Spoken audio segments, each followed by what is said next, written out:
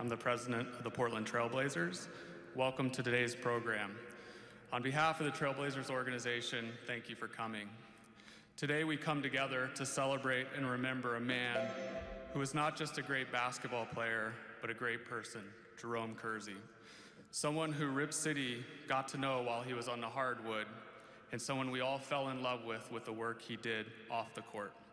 Jerome was relentless, formidable, tenacious, while also being gentle, compassionate, kind hearted, and joyful. It's only fitting that we gather together here in the Veterans Memorial Coliseum, where Jerome was part of the core of those great Trailblazers teams that reached the NBA Finals in 1990 and 1992. To start the program off today, I would like to welcome up to the stage Al Egg, our team chaplain.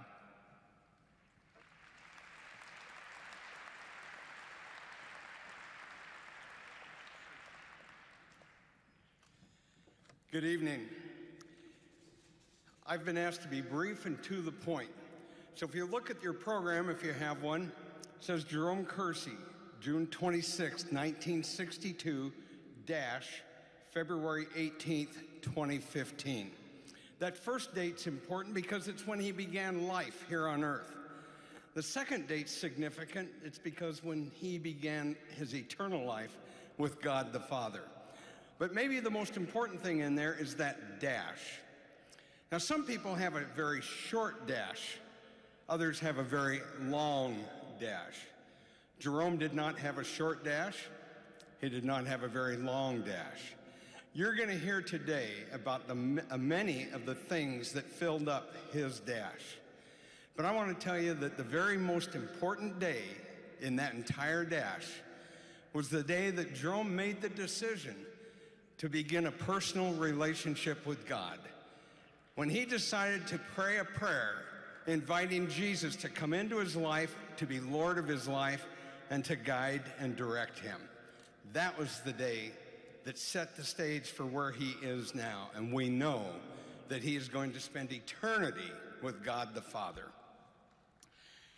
Inside your program, you'll see a verse from Isaiah chapter 41, verse 10 happens to be Jerome's wife Terry's favorite verse. I want you to look at that for a minute. So do not fear, for I am with you. Do not be dismayed, for I am your God. I will strengthen you and help you. I will uphold you with my righteous right hand. This promise is spoken primarily to Israel, but it has application for us as well if we have a personal relationship with God. Terry has a very personal relationship with God, and God is upholding her and strengthening her and helping her get through this very difficult time of life. And you're going to see when she shares the strength that can only come from a relationship with God. Let us pray. Father God, Thank you for Jerome. God, I love that man so much. I thank you for the time that you gave us with him. Thank you for the man you made him to be. Thank you for the impact he had on each of our lives and many, many, many others. Thank you for his love for his wife, for his family. God, thank you for his decision to say, Jesus, I need you in my life, that guarantees that he's now with you for all of eternity. Bless us today, I pray, in Jesus' name. Amen.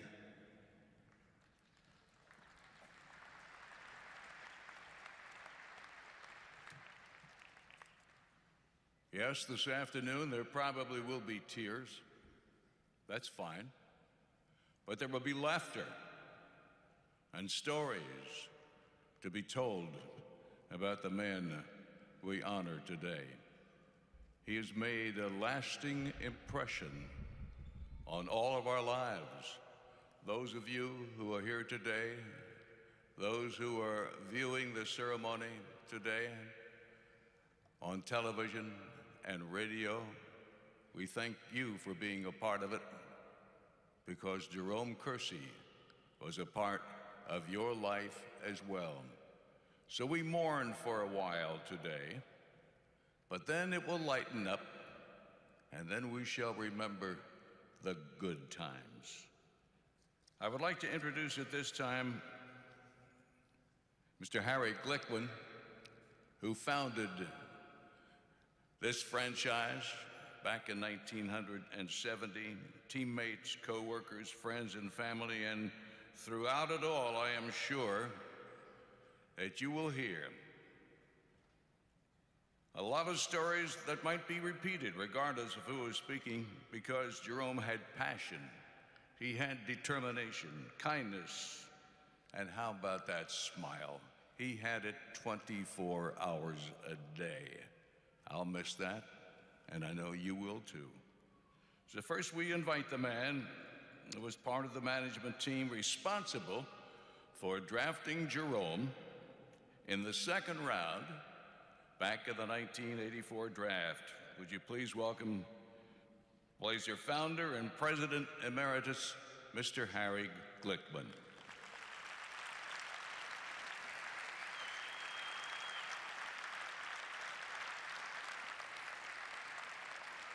Thank you, Sean.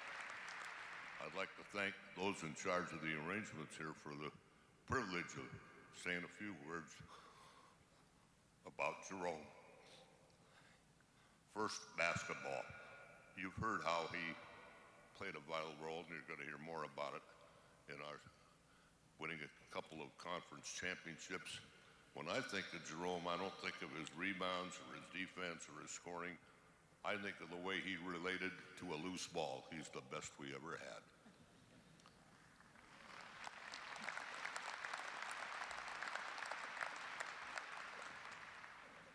When Stu Inman and Bucky Buckwalter finally amicably settled their differences and we agreed we were going to draft Jerome Kersey, we did so and then brought him out to our rookie camp where Coach Jack Ramsay said, he, I don't think he's quite ready for the NBA, but we sure don't want to lose his rights. He's a good player.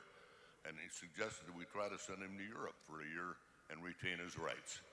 So we approached Jerome about that, and he said, Hell no, I'm coming to your training camp and I'm going to make your team. And he did.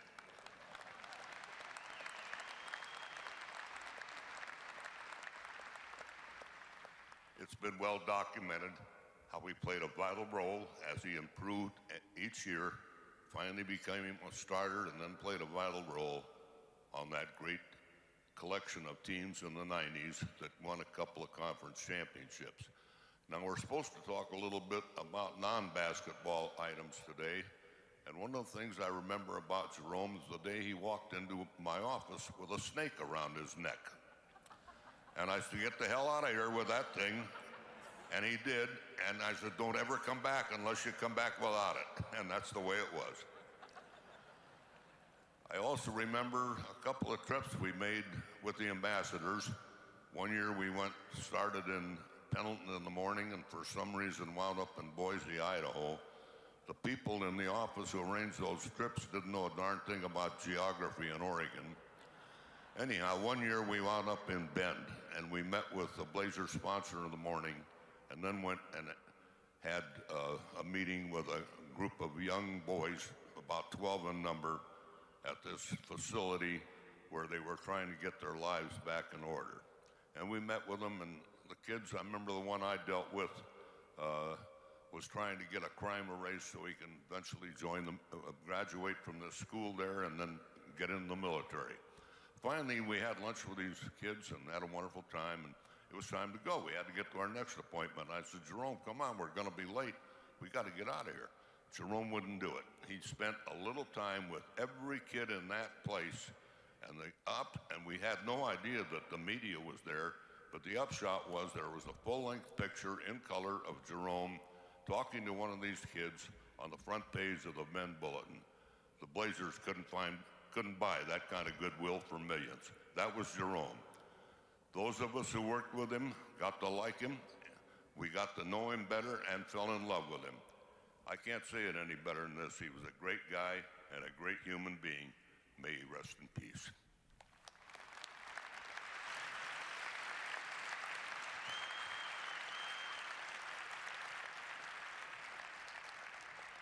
Thank you, Harry. As you may know, I've been around a few Trailblazer teams myself over the years. And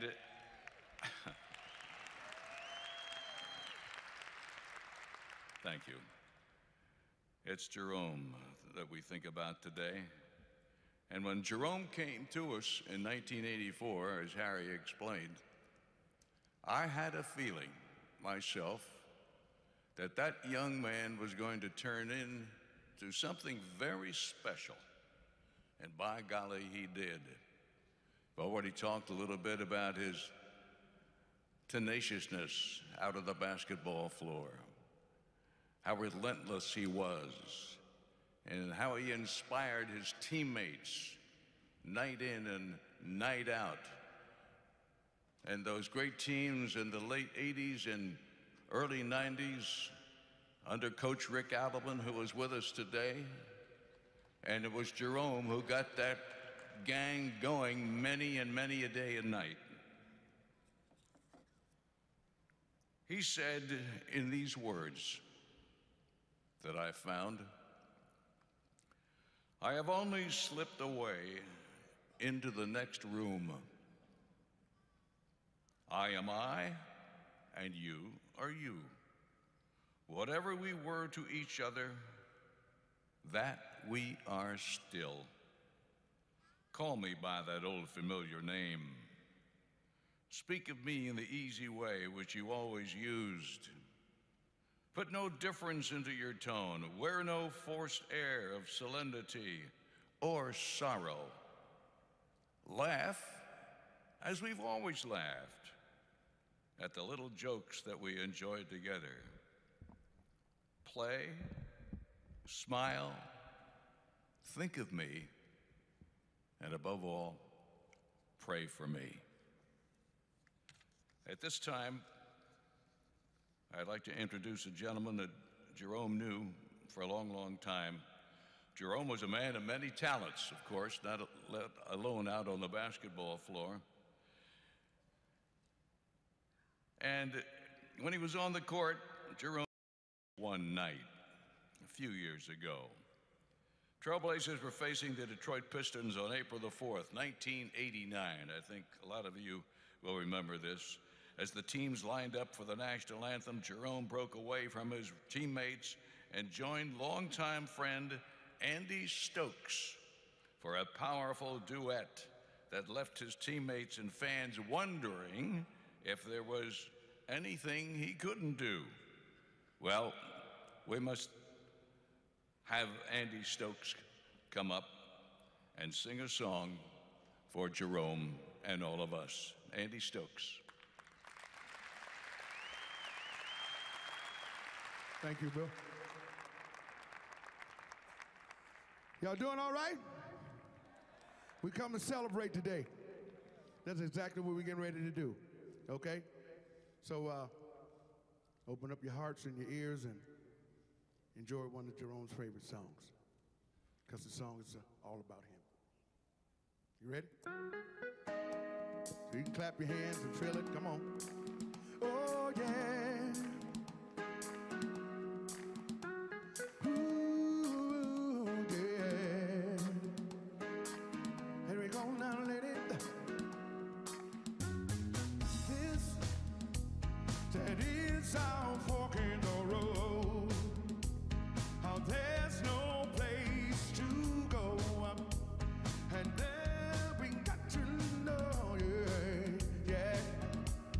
Said we made a choice, and now it's up to me to bow down gracefully,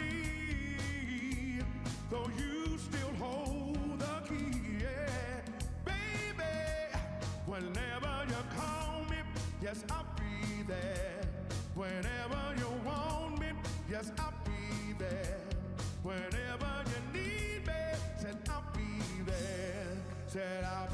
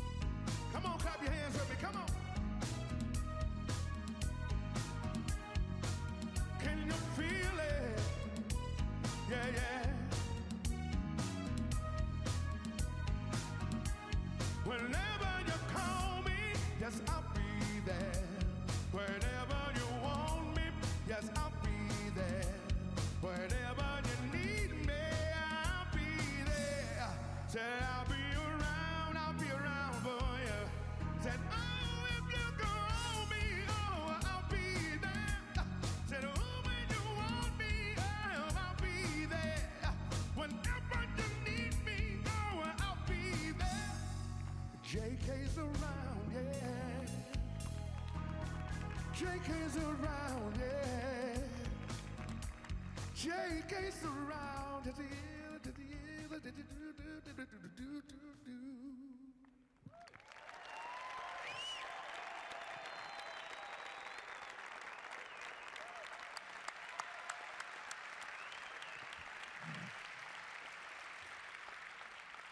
The words, I'll be there. That was our guy, Jerome. Thank you, Andy. Anyone who watched Jerome play saw the toughness and determination that he brought to the game. He never took a play off, worked his tail off to help the team just any way that he could. We mentioned earlier about him being part of the core of those early 90s Trailblazer teams that went to the NBA Finals. And uh, to tell us more about those days, please welcome, if you will, another great favorite who has also made his home here after all these years, and a great teammate of our own Jerome Kersey. Would you please welcome Mr. Terry Porter?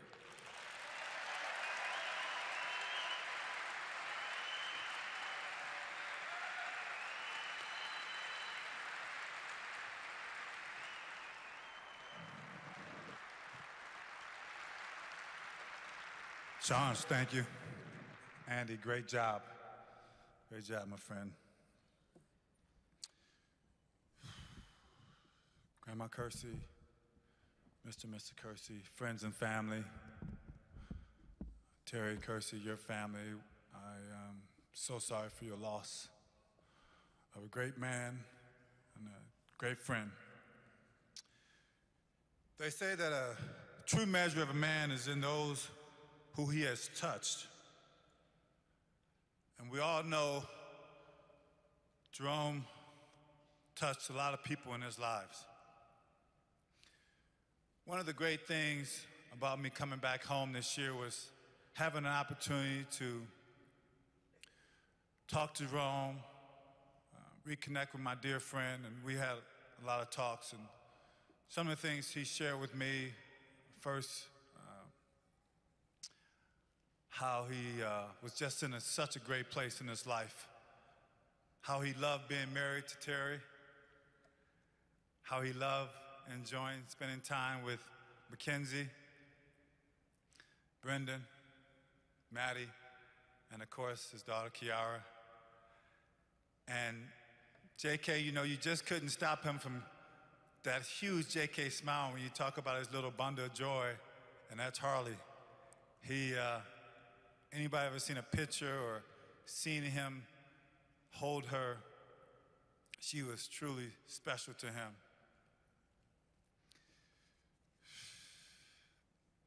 You know, he talked a lot about looking forward to spending a lot of time with his family, watching his family grow together. And, well, my friend, you still be watching them grow. You'll be watching them from above, and they will be carrying their, your spirits with them throughout their life. Grandma Kersey, first of all, ma'am, know that you. Uh,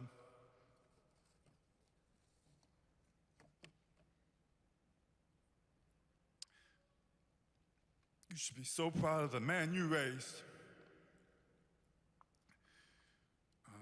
You did not get to experience it firsthand, but this city and this state loved your grandson.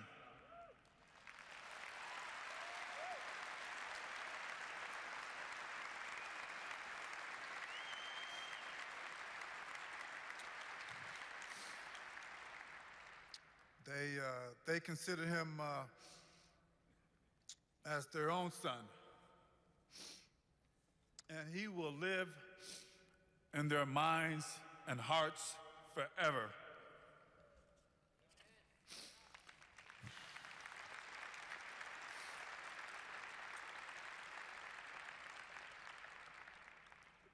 Let's talk about Jerome's Blazer family, teammates.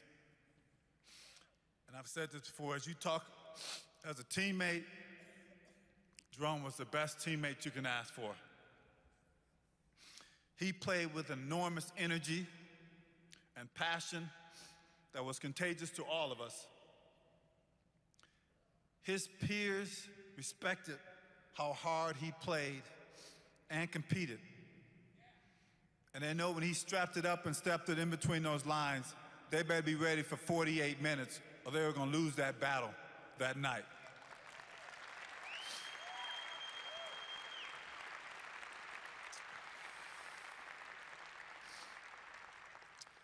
I want to share a story with you guys, take you back. 1990, Game 7 in this building against San Antonio Spurs. Down at that end of the basket, San Antonio Spurs had the ball offensively. This is a very heated game, back and forth. They made a arid pass that looked like it was going out of bounds. Jerome, with his attitude of never quitting on any play, never taking a play off, chased this ball down, grabbed it before it went out of bounds, had the wherewithal to turn around and throw it at the other end of this court, catching Clyde Drexler in full stride. Clyde then catching it and going on and finishing. We went on to win that game and went on to go to the NBA Finals.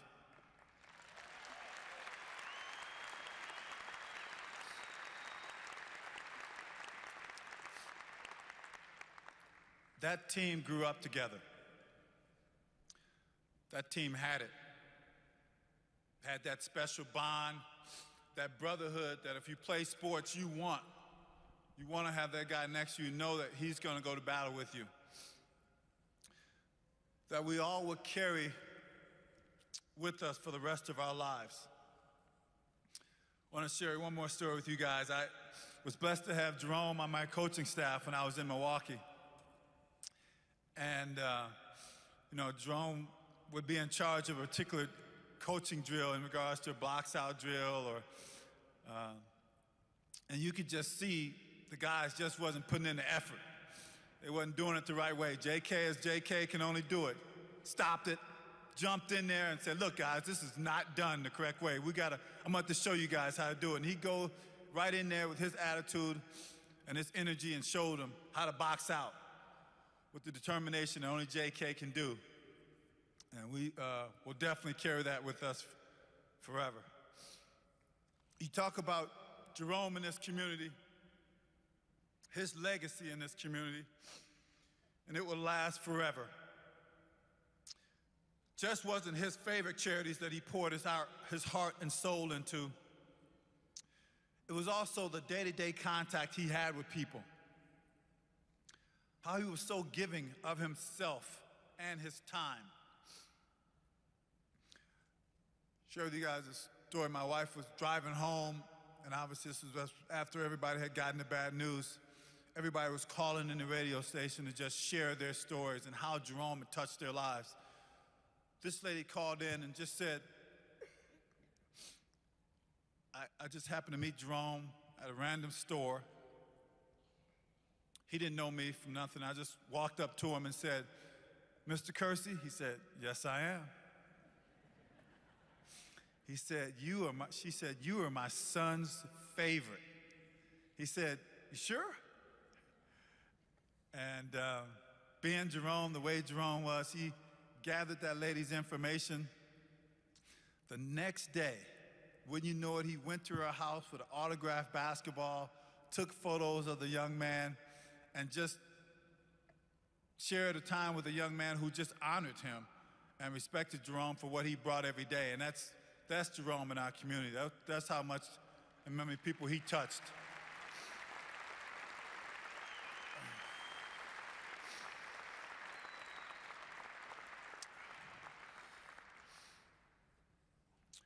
I was so grateful God gave me last Tuesday morning with him. Two old warriors talking about our broken down bodies. Uh, representing a team and a town we loved.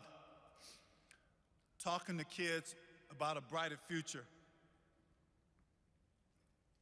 About appreciating those who blazed the trail before them. It's a moment I will treasure forever. Well, my friend, good Lord had called you, but you don't have to worry about being a second round pick in his draft.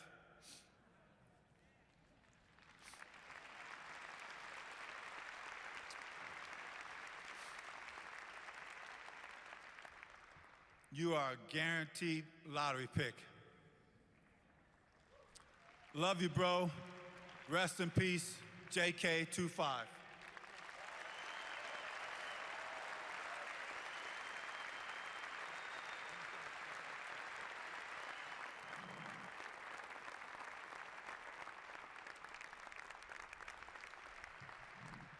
Very nicely done, Terry.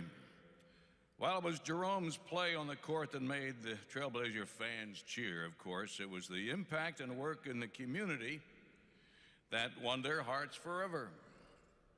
He went from just being a member of the roster to being a member of the community, not only here locally, but all over this great state, and continue that way even after his playing days were over.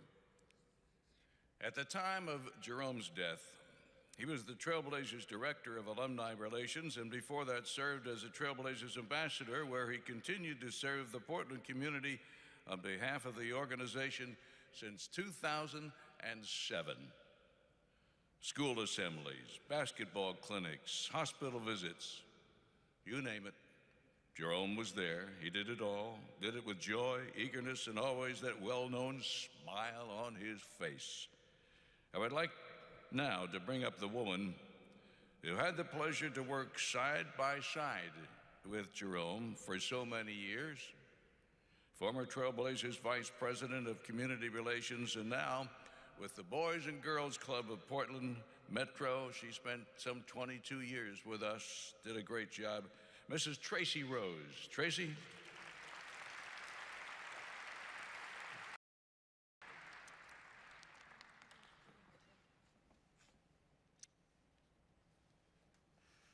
Good afternoon. My name is Tracy Rose, and I had the tremendous honor of calling Jerome Kersey my friend for the better part of 30 years. When I first started at the Trailblazers, Clyde, Terry, and Jerome were already there. Right after I started, Kevin Duckworth joined us, and shortly after that, Buck Williams came along. To remember that time, that very special time in Trailblazers history, all you have to do is mention those five names Clyde, Terry, Buck Duck, and Jerome. You say those names, and any Blazer fan immediately remembers exactly how exciting that time was and how awesome the basketball was in this building.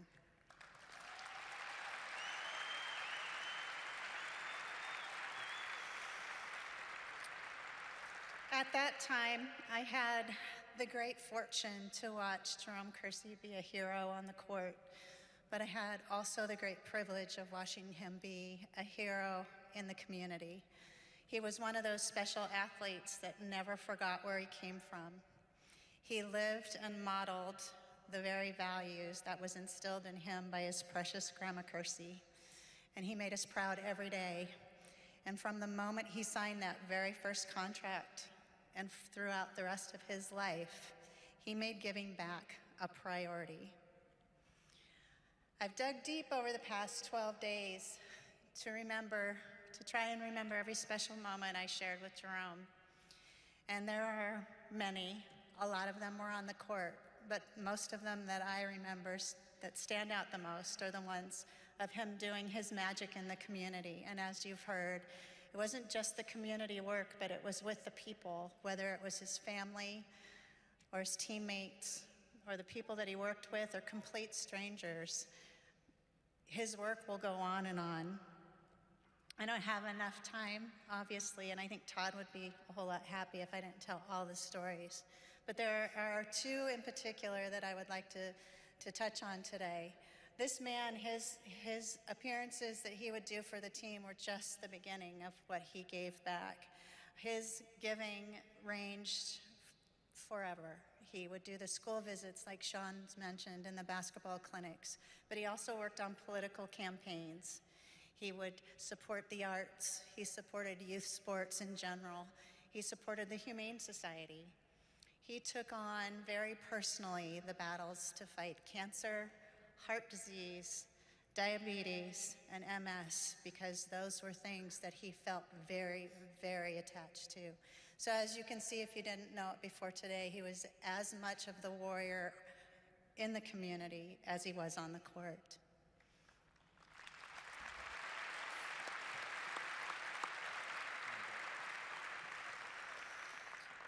The two stories that I want to share with you today are two that will really give you, from my point of view, what I think really defines Jerome Kersey. The first one um, is my favorite story, and I've told it a few times, but it was back in 1992. Take yourself to June 1992. We were on our way to play the Chicago Bulls, the second time we were in the NBA Finals in three years. This team, these guys were like rock stars in this community. I often said I didn't think that the Beatles would get any more of a response than these players. People would come running after them in the community. And, and they were so under demand. Um, and uh, we were on our way to the finals, so it was hands off. Nobody asked these players to do anything. They were all focused on basketball. I was sitting at my desk, and Jerome called me and he said, Hey, I'm, I'm in the parking lot. I need you to bring me down an autographed basketball get a shirt, a cap, anything else you might have, um, bring them down to me. So I put a package together and I went downstairs. And when I walked out into the parking lot, it was Jerome, but not just Jerome, it was Terry, it was Clyde, and it was Buck, and it was Duck. Jerome had met a woman in the store, and she had told him a story about a child who was a huge Blazer fan and he was in the hospital. So Jerome immediately called his brothers he gathered them together and met at the office. I gave them their package, and they went on up to the hospital and spent the afternoon with this child. That was Jerome doing what Jerome does.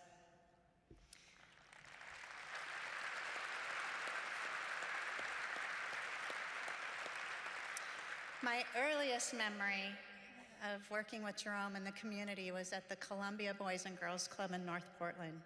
I had the privilege of going to the club with Jerome and Terry and when these guys showed up, they were like the Pied Piper. The kids would come running from everywhere.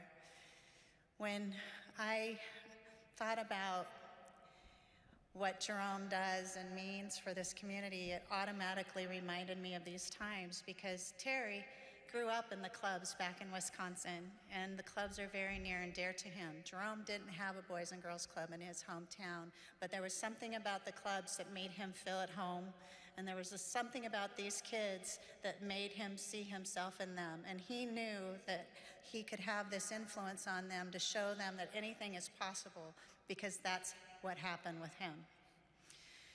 When we, thanks to Terry and Jerome and their work with the Boys and Girls Clubs, they inspired the Trailblazers to contribute to the building of the Blazers Boys and Girls Club on Northeast Martin Luther King Boulevard. And I'd like to make sure that the Kersey family knows that that building today stands in part because of the work that Jerome did. That is his legacy that stands there today.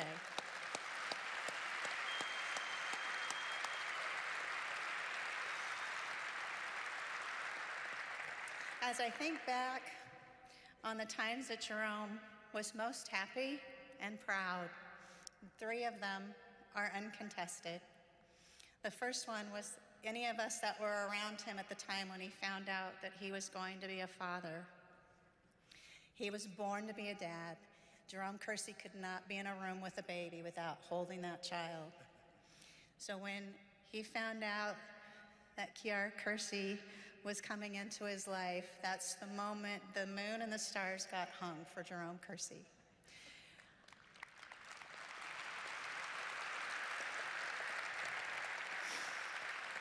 I don't have to tell you, Kiara, but he loved you more than life. The other thing he wanted more than anything, always, was to be a husband and have a family. And although he took his time, it was time well spent because Terry Kersey, you took him out at the knees. He loved you with all his heart and you gave him his family.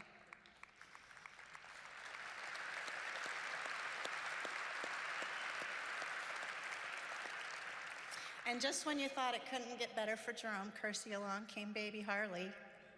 And that's when we all saw Jerome experience pure joy. He was so happy being a grandfather. His life was perfect and his life was complete. In honor of JK25 today, I'm going to close and just ask all of you let's never, ever forget where you came from and always remember to be kind.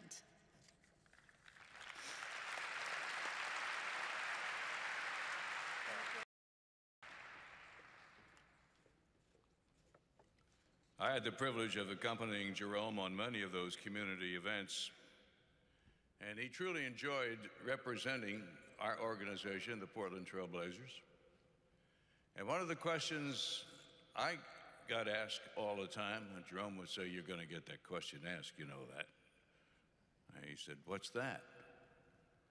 Mercy, mercy, Jerome Kersey. Well, I did and continue to do it very quickly, I'll tell you that story because that phrase stuck. It was probably in Jerome's second year, about halfway through the season, and the team was doing its number, playing as hard as they always did in those days. And Jerome, on this one particular day, running all over the place, you know, he liked to dunk the ball, he liked to do everything, swat the ball away from the opponent, whatever it might be to to get more points for himself and his guys and his team. And all of a sudden, I believe it was Terry, because Terry and I were talking about this the other day. Jerome took off after play at one end, going back towards the Blazer basket. Terry saw him. He threw the ball practically the length of the floor. Jerome caught it, took one dribble, took off, a two handed slam. Now, I was on the radio at the time, brought him out, all that play, and when it came down, this building here erupted like nobody's business, and for whatever reason, I said, Mercy, mercy, Jerome Kersey, and it's stuck.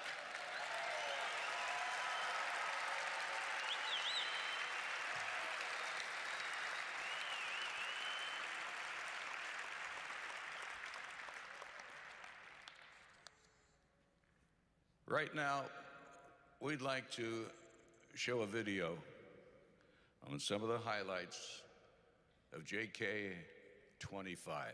Watch the screen.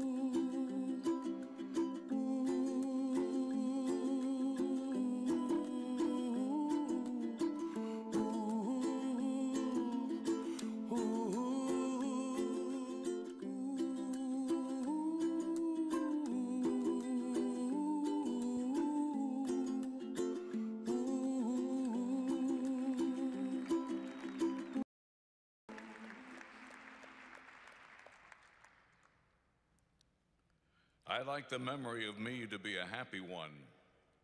I'd like to leave an afterglow of smiles when life is done. I'd like to leave an echo whispering softly down the ways of happy times and laughing times and bright and sunny days. I'd like the tears of those who grieve to dry before the sun of happy memories that I leave now that my life is done. We've heard a lot about Jerome, a little more to come in his association with the Blazers, and for as much as he was always there ready to represent the organization, he was even more invested in the lives of his friends and completely devoted to his family. Would you please welcome to the stage at this time one of Jerome's very best friends. They've known one another for 30 years. He was his best man, Mr. Ron Sloy. Ron?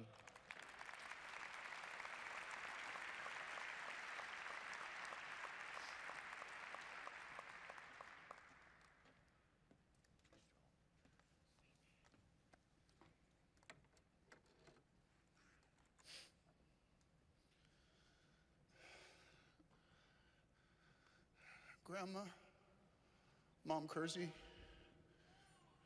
John, father's, Jerome's father, Terry, Kiara. I'm so sorry.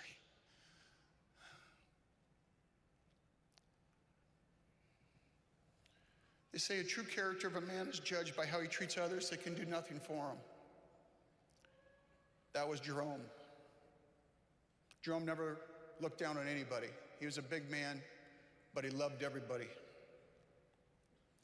Sean's, I, I saw where a week or so ago when Jerome passed, you said you've lost a son, and I think a lot of us feel that way. I find it so interesting that the synonym for mercy is kindness. And I must tell you, Jerome is the kindest man I've ever met. I want to tell you one brief story that Terry shared with me about a week ago. After every home game this year, Jerome would go up into the suites and collect some of the food that hadn't been opened, load it up in his back seat and his trunk, and drive down to Old Town and pass it out to the homeless.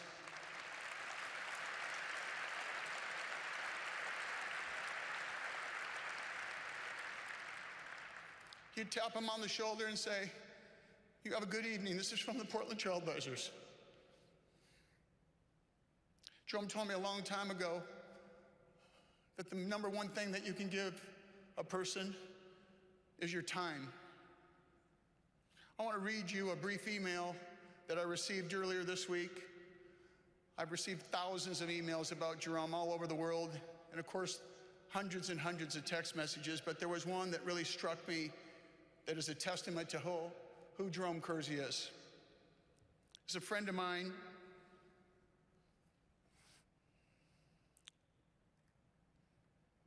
Ron, I want to share with you a short note that I received from Grant's teacher.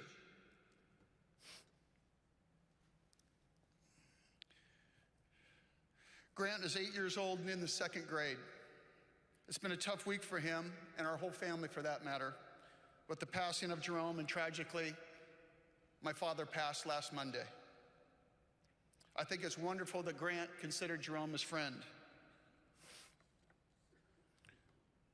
Jerome was always extra sweet to my kids when I saw him when he saw him out at Columbia Edgewater and everywhere else in town.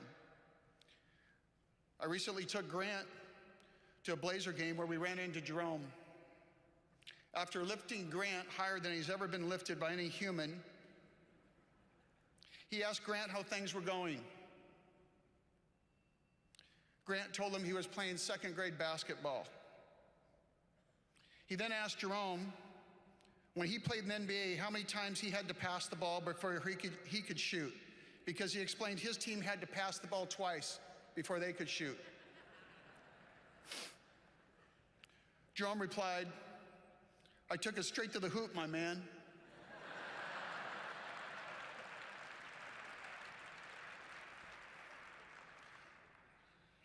And he said, Jerome was a gem. This is what Grant's teacher had to say. So, yesterday morning, I checked in with Grant to see how he was doing and let him know how sorry I was to hear that his grandfather had passed. He got a bit, bit teary eyed and said that everybody he knew was dying.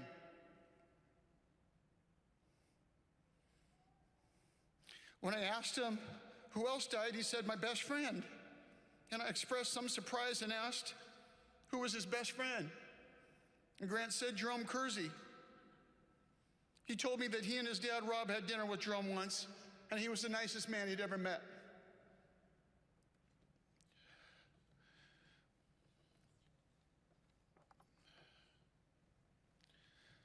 I talked to Jerome about two hours before he passed. And so the following morning, this is what I wrote him.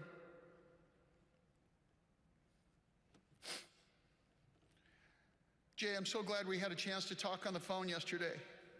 The best part is how we'd say goodbye as we've done for almost 30 years. I'd say, I love you, and, and he'd say, I love you too, pal. I had no idea it'd be the last time I'd talk to you. Thank you for your guidance and for your friendship. You're the finest man I've ever met. A true gentleman, caring, humble, generous, and selfless. It looks like we'll have to take a rain check on our dinner that we had scheduled for next week. I'll get up your way when it's my time. Give Duck and Luke a hug for all of us and continue to watch over us and take care of us as you've always done. It's been a true honor to be your best friend. I'm so tremendously, tremendously sad and, and heartbroken. I will, I am and will continue to be so very proud to call Jerome Kersey my best friend. God bless you, my dear Jerome. The next time I make a birdie on the golf course, it'll be in your honor. Rest in peace. Love, your Ronnie boy. If love could have saved Jerome, he would lived forever.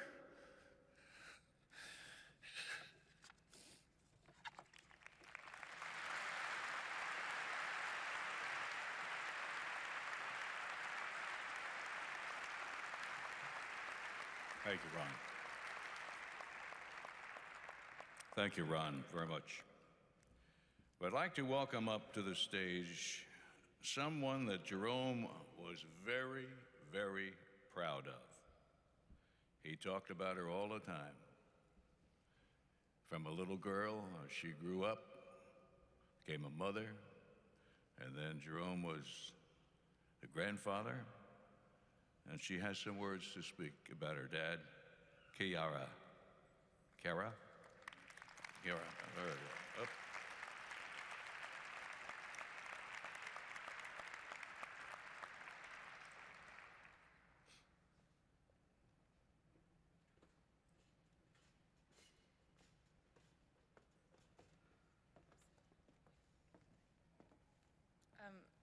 First, I'd like to introduce you all to my daughter and Jerome's granddaughter. This is Harley Ray Kersey.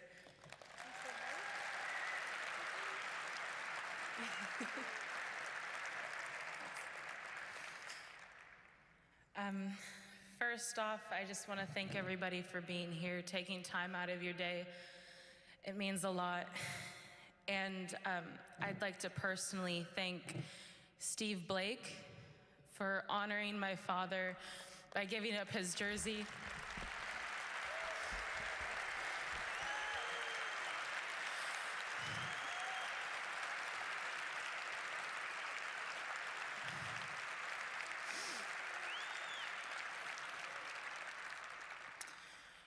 Thank you to the Portland Trailblazers organization, specifically Paul Allen, who graciously took care of all the travel arrangements for my father's family and friends from back east.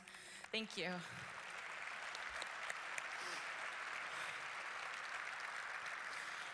I could not imagine going through this without you.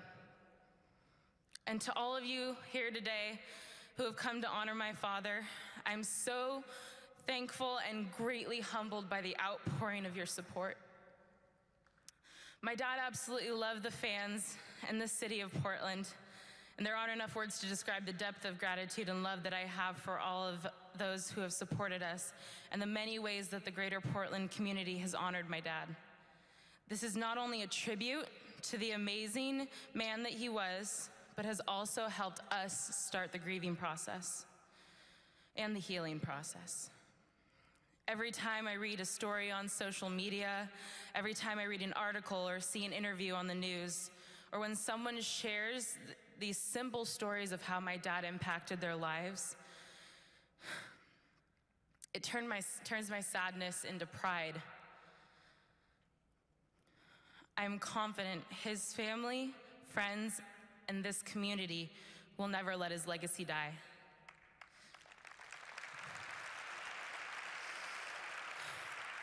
What is my dad's legacy? The great Jerome Kersey, mercy, mercy, Jeromeo to the ladies, JK, daddy, Portland son, husband, G-Paw. You know, growing up, I don't think I ever really understood how famous my dad was. When people asked to take pictures with him, I assumed it was because of his devastatingly good looks. And they apparently run in the family. I'm talking about his granddaughter, of course. and any of you who knew my dad knew that he liked to look good. The man had plenty of clothes and shoes to make sure he was always prepared for every occasion. Putting on his game shoes, my dad made quite the impression. Most of you here know about his stats and career in basketball, but I think one of his greatest marks in the NBA and within the Trailblazers organization was his hustle. He appreciated and worked hard for every moment of his career, starting in his college days at Longwood.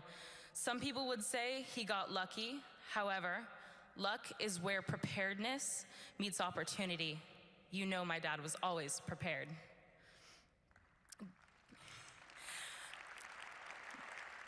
Growing up, I got to see a more casual side of my dad. In my younger years, my dad spent a lot of time with my family and I in Gresham.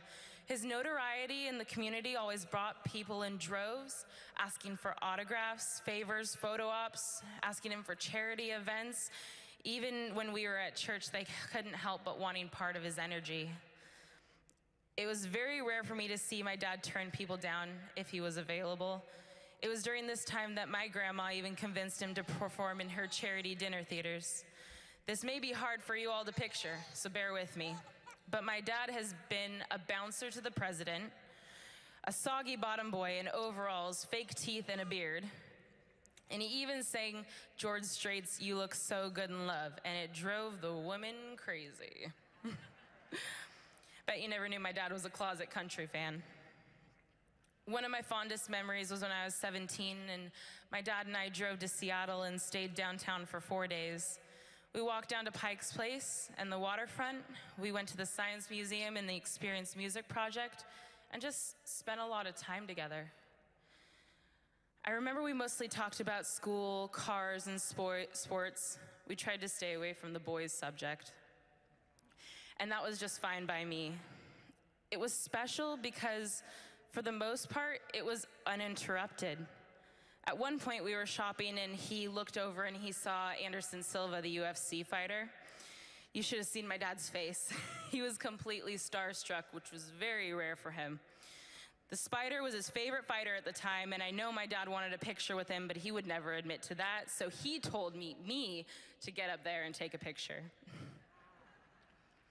Aside from being the NBA player and the community servant extraordinaire, he was just a normal guy. When it all boils down, the trip was not extravagant or groundbreaking, just spending time together. That was the best thing I could have ever asked for. In these precious moments, I saw him change from dad, later to husband, and eventually to grandpa. People handle change in different ways, and I wasn't sure how my dad would do in these new roles. But in God's hand, I knew everything, even though he was hard headed, stubborn, and determined.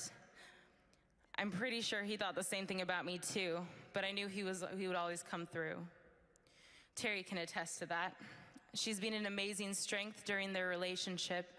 She knew how to love him strong and put him in his place when he needed a swift kick in the butt. That's what a good woman does for her man. And together they have made a lasting impact in the community for Harley and I. I know I'll never forget my dad's face when he discovered for the first time he was going to be a grandpa. The shock and awe on his face was absolutely priceless. I've never seen his mouth open so wide or smile so big. At first, I wondered how things would go, how he would feel about me having a baby, him being a grandpa, having this new little life joining our team. Well, dad took to being a grandpa just like he took to everything else. He formulated a game plan and exhibited hustle during a high pressure moment. What was his play? Within 48 hours, he had already shopped at all the local stores, buying a whole baby setup for his home. You could say Harley had him wrapped around his finger from day one. Of course, it didn't stop there. Dad couldn't walk into any baby store and without buying something for Harley. There was this one moment when my dad fully took on the grandpa role. It was when I was passing by the door of the nursery and I caught him as he was changing Harley's diaper. I watched briefly and peeked around the corner while he was making all these baby sounds and being so delicate with this teeny tiny thing. There's something pretty hilarious about seeing a six, seven man coo at a baby and say, Who's gonna change your diaper wipey? and there was more than a diaper that had been changed. A great dad had changed into an even greater grandpa. Dad, I'm so glad God gave me to you and mom, and it would be really easy for me to be angry right now for so many reasons. Harley's first birthday is right around the corner, and we are in the middle of planning the whole thing. What about Harley's first day of school? Or what about giving me away at my wedding someday? I don't understand God's timing, but ultimately, Dad, I know you would want me to appreciate the time we had together and not dwell in this moment. So I choose to imagine there's only one of two things happening to you right now. You're either dunking on Jesus or riding a Harley Davidson while singing with my grandpa in heaven. Dad, I'm devastated and I'm grieving, as we all are. However, I'm so overwhelmingly grateful and celebrating the 21 years I've had to see the many different dimensions of your character. I know you would challenge me to give just the smallest effort in some way to fill the shoes you wore for your multiple walks in life. I'm going to give my all to continue to fulfill the Kersey legacy you started by staying connected and honoring the four families we have gathered here today the Blazers organization and fans, our Kersey family and closest friends, my bonus mother slash grandma, Terry, and the whole Folsom family. And finally, my mom, Angela, and my bonus dad, Corey, and the whole Stellato, friends and family. We've made it this far, Portland. Let's not stop now. I love you, Dad.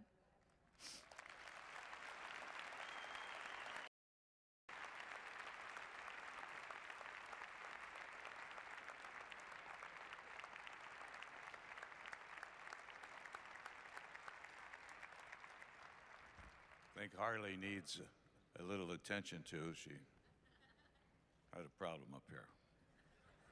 That's okay, Harley. Ladies and gentlemen, our final speaker, taking a lot of intestinal fortitude to do this, Jerome Kersey's wife, Terry. Please welcome her.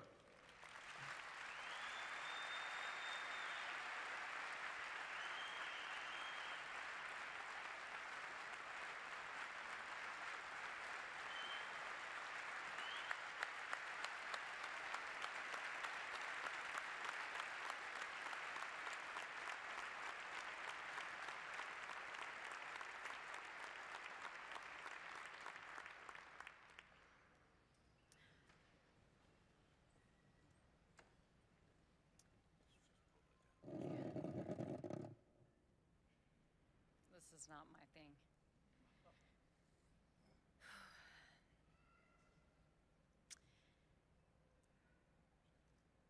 This is incredible. Um, you know, I've sat right in this area with Jerome. Um,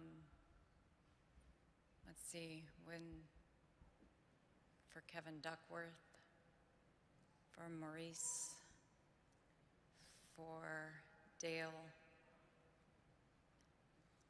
uh, for their services and held his hand. And I every time looked at him and said, Don't ever do that to me. It's amazing to think I'm standing here. Um, so, first, I just wanted to thank you all so much for the outpouring of love and support for my family. Um, thank you to the Trailblazer organization for everything that you've done for me and the continued support and encouragement. Um, Jerome loved the Trailblazers so much. Um, he was so proud to be part of this organization. You know, people um, often would ask me if I would get bothered by getting interrupted, stopped, or handed the camera to be the picture man. Uh, my answer was always no. Um, it didn't bother me because I knew how much Jerome loved the fans. Uh, he truly did. He once told me the reason why he would stop to sign an autograph or take a picture was because he was grateful that people still remembered him. Clearly, he's remembered.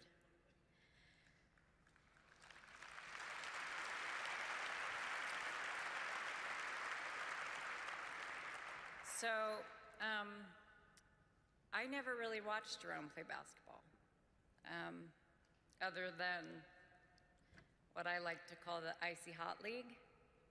Um, kind of when like the old guys get together on like a Saturday morning, you walk in the gym, it kind of burns your eyes a little bit from all that stuff they rub on. Yeah.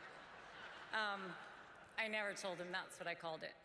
Um, actually, uh, Terry Porter was my favorite player. Well, that's what I told him. Um, he would always get mad at me. How could Terry be your favorite player?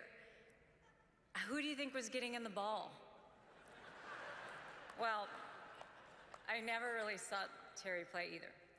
Um, but it was just how I kind of poked fun at him.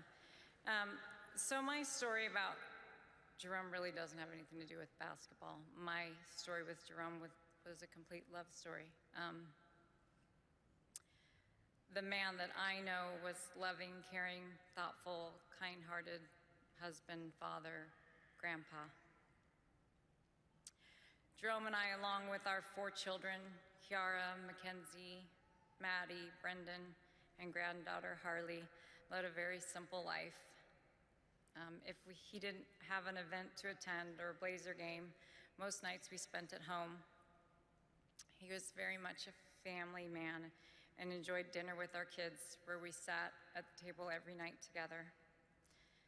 He made sure we prayed at every meal, whether at home or at a restaurant. I love that about him. Jerome took care of his family. It was very important to him that we were always okay. When I first met him, I had just been diagnosed with multiple sclerosis. There had been many times in our relationship where he would have to carry me, and he did. He would wrap his, his big arms around me. I knew I was safe. He never complained or made me feel like a burden. He just did. It was just Jerome being Jerome. He was a caregiver with a huge heart. He loved to fuss over me, drove me crazy. Uh, he always making sure I was warm enough,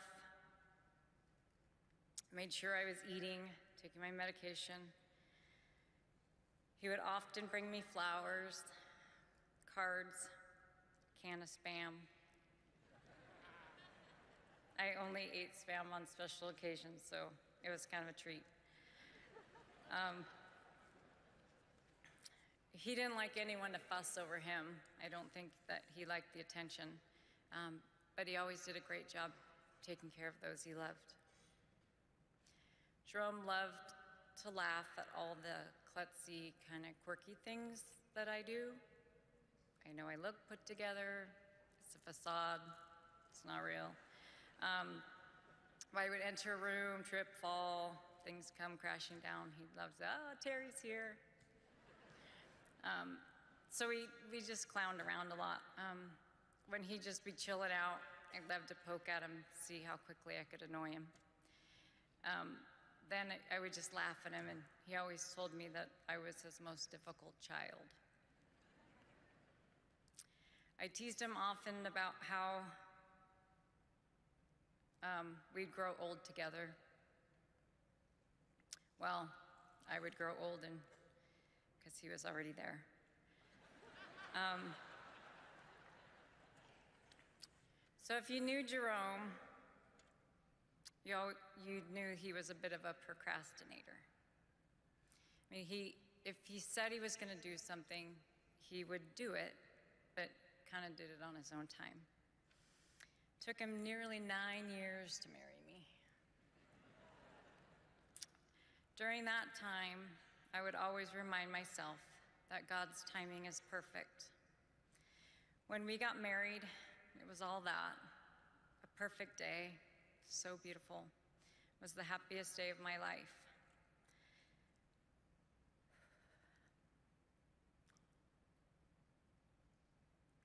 I will never forget the look on his face when he first saw me walk down the aisle. He had tears in his eyes. I had finally become one with my best friend, my soulmate.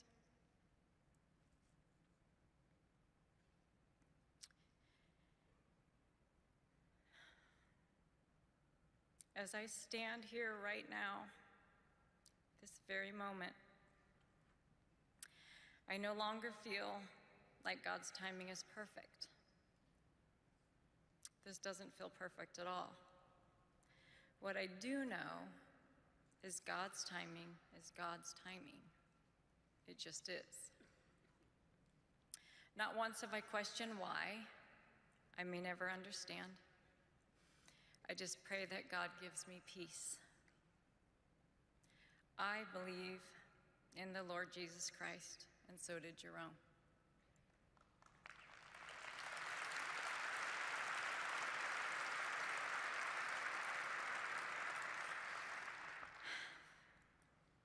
I trust that He has everything under control. My hope is in heaven. Although my plan was to spend the rest of my life with Jerome, I am so thankful and so blessed that he loved me enough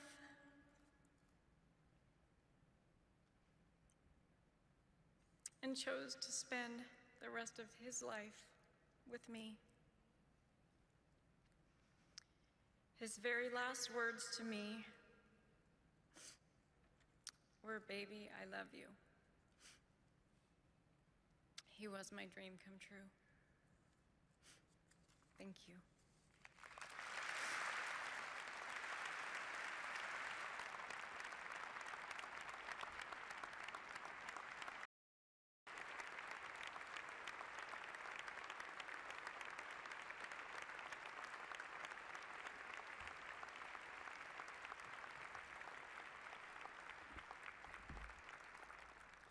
As we draw our celebration, Jerome Kersey, to a close, we knew that there are so many of you that have your own Jerome story. And if you would like to share that story or make a note to the family, please send them to the Trailblazers office at the address that's listed in the program. I'd like to take just a moment. On the back of your program is this poem. You can find it there. It exemplified how Jerome lived his life, and it says, I've seen better days, but I've also seen worse. I don't have everything I want, but I do have all I need. I woke up with some aches and pains, but I woke up. My life may not be perfect, but I am blessed. Very nice.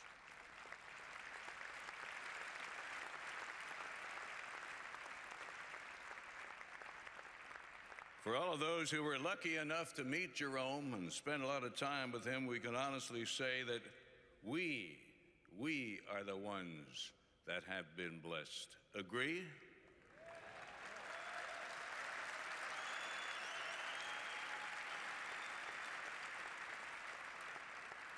We thank you for coming out today and being at this service to commemorate his life. And just before we go, and when I finish here, it's going to be a video on the screen. We want you to watch that. Jerome liked this. Listen to the words. Should you go first and I remain to walk the road alone, I'll live in memory's garden with happy days that we've known. In spring, I'll wait for roses red when fades the lilac blue. In early fall, when brown leaves fall, I'm gonna catch a glimpse of you. Should you go first and I remain, for the battles to be fought, each thing you've touched along the way will be a hallowed spot. I'll hear your voice and I'll see you smile, though blindly I may grope the memory of your helping hand will buoy me on with hope. Should you go first and I remain, to finish with that scroll, no lengthening shadows shall creep in to make this life seem droll. We've known so much of happiness, we've had our cup of joy, and memory is one gift of God that death cannot destroy. Should you go first and I remain, one thing I'll have you do. I want you to walk slowly down that long, long path because soon I'm going to follow you. I want to know each step you take that I may walk the same. For someday down that lonely road, you'll hear me call your name. And now I want each and every one of you, as we go into the video, as loud as you can and as make it so that he can hear us on the count of three. I want you to do that phrase. You know what I'm talking about? One more time. It's for our guy. Let him hear it. One, two, three. Mercy, mercy, Jerome Kersey. Amen. Thank you for being here. Thank you.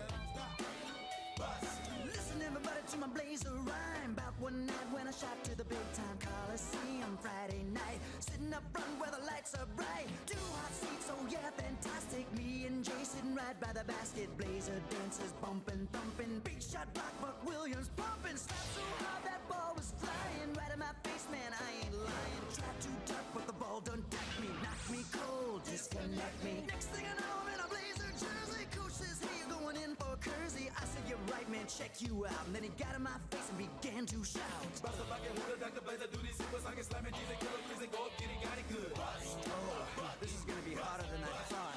How you spelling that? Bust a bucket, who the Dr. Blazer, do these super sonic slamming, Jesus, killer, freezing, go up, get it, got it good. Yeah, great. Whatever. Back to my story. Pick up the phone, Bob Costas ringing. Next thing I know, man, Kersey's singing. Ooh, baby, you got to touch. Take it easy, man, you're working too much. Future's big, coach has said. Just this big that bump on your head.